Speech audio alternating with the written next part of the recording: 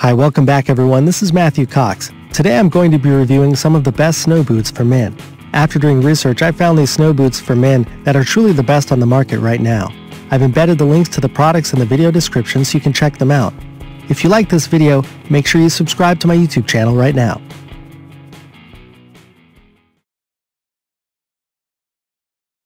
The North Face Chilkat 400 as a replacement for lower scoring North Face boots we tested in the past, we tested the North Face Chilkat 400 for the first time, and boy were we glad we did. Exceedingly comfortable in a snug and cozy way, this boot by far proved to be the best option for winter hiking. Whether that means through the ski town to get to the base of the lifts or with snowshoes on for a winter adventure.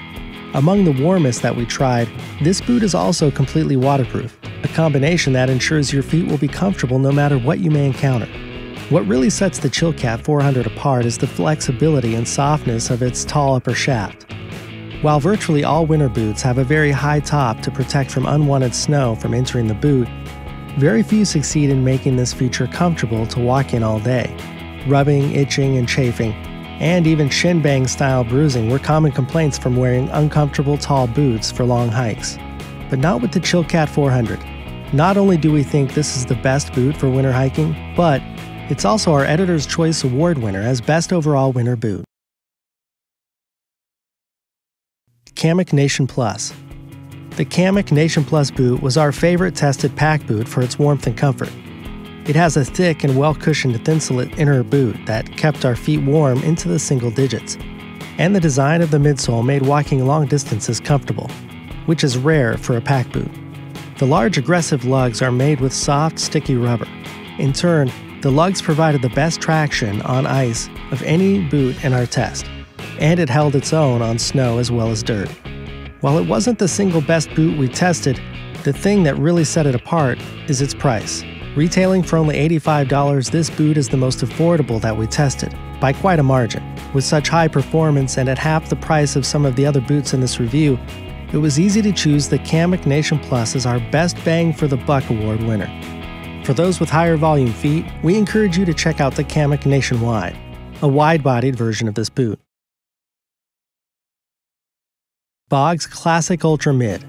In years past, the Bogs Classic Ultra Mid has been our editor's choice for best overall winter boot numerous times. Yet in this year's review, we're ranked much lower when compared to the competition. Despite this, we still want to recognize it for its incredible simplicity, which is unique among this selection of boots. Endeared to our hearts, we have awarded it our top pick for ease of use. With one of our lowest scoring products receiving a top pick award, what gives? We will shoot straight with you. During our ice bucket test, two separate pairs of our test boots leaked water into the seam, between the outsole and the upper. Thus, the classic Ultra Mid received a very low score for water resistance, as it deserved. This low score dropped it from a top 3 boot to very close to the basement. However, despite the manufacturing defect in our boot and testing a second pair which also leaked, and complaints of similar things happening to other users, we believe that these are great boots for people that spend a lot of time in the cold and snow and avoid standing in puddles of water. The bottom line is that they slip on in a second and fit easily with any sort of sock combination making them the best and easiest choice for wintertime chores such as shoveling the driveway, taking out the trash, or getting the mail. If you live in the snow like we do, then you understand how big of a deal this really is.